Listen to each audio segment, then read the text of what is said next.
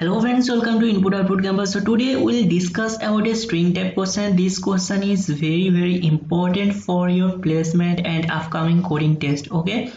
So the problem is haystack and needle problem. Here is the question. You have to return the index of the first occurrence of needle in haystack. So the input given as haystack this is the string and the string is hello and there is another substring that is needle. Okay and it contains ll okay. So you have to return the index of the first occurrence of needle in haystack. So the first occurrence of this ll in this haystack is 0 1 and 2 so this is position 2 so you have to return 2 here. Okay. So or minus 1 if the needle is not a part of haystack. So if the substring is not present in this haystack then you have to return minus 1. Okay. So suppose in this needle there are suppose this small a is present. Okay. So this small a is not present inside this haystack so you have to return minus 1 okay. So if this is empty suppose this is empty needle is empty so for that you can return a zero. Okay. So there is a constraint that the haystack length and the needle length will be between this 0 and 5 into 10 to the power 4 okay. We can use integer here. Because in this range we can use the integer. Okay. So haystack and needle consist of only lowercase english characters. So the input string contains only the lowercase english character. Okay. So for simplicity let's see. This is the string okay so haystack is a string and the needle is a substring. Okay and this is a substring and here was small l. Okay so the output will be 2 here. Okay so hope you understand the question. So let's write the code. So first of all write the basic format of the c++ we'll write as include reads standard c++.h because all the header files are included in this read slash standard c++.h so next write using namespace standard. So first write the main function here that is int main. So inside this main function there will be a string and a substring. Okay. Suppose the name of the string is s and this contains hello. Okay and there is a substring also. So suppose the name of the substring is sub and this contains small l okay? So now we'll write a function where we'll do all the operations. Suppose the name of the function is string string okay? So str and then str. So suppose this is the name of the function. And we'll pass this string and substring from here. So for that right here is and then sub okay? So we before this main function write the same function here. And the return type will be integer. Why the return type will be integer? Because it will return the position. So here you can see it will return the position. So for that reason we'll write here return type as integer okay?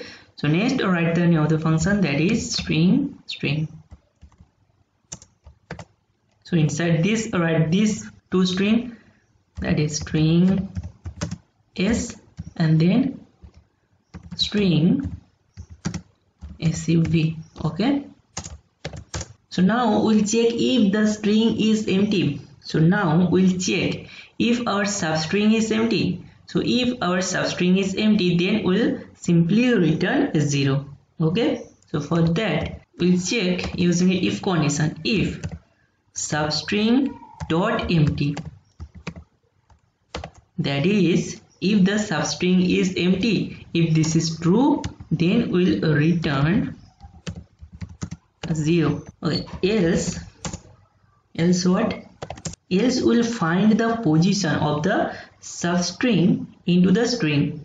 Okay next we'll find the position of this substring into this string. So for that we can use a built-in function which is find okay? So find function is very helpful for finding the position okay?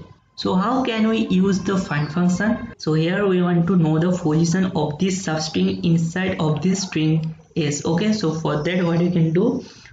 So first write the string name that is s dot s dot find okay? So this find function will find the position of this substring.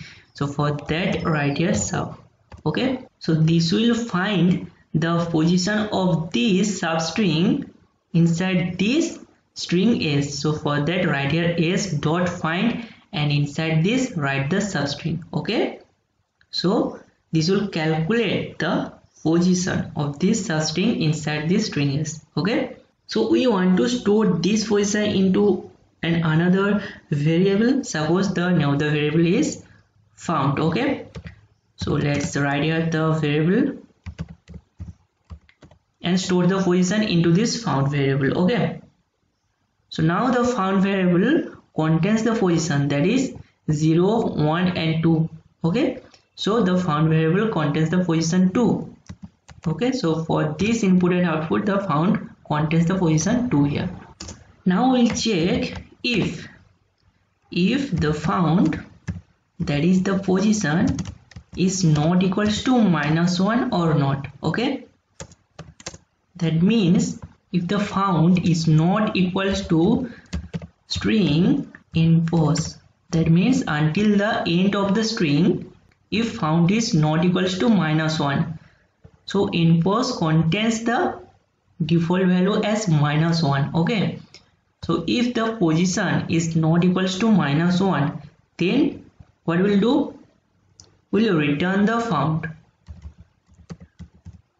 So we'll return found. That is the position.